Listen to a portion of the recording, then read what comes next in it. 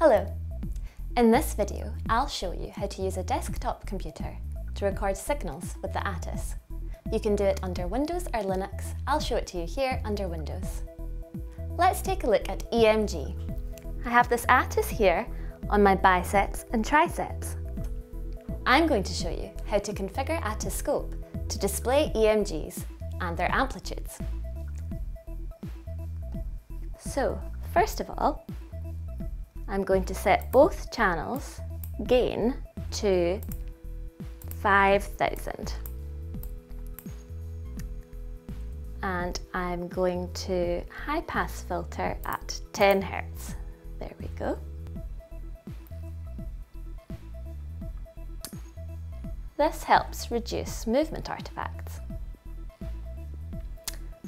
There is a bit of 50 Hertz noise so we'll just remove that. Now I'm going to enable two more channels. And in addition to the settings above, I'm going to enable amplitude detection and low pass. There we go.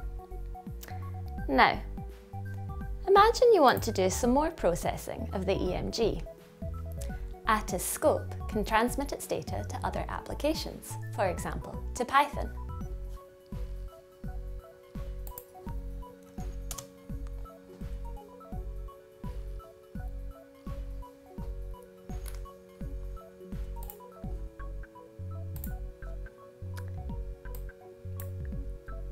Now, my EMG amplitudes are plotted as these two histograms.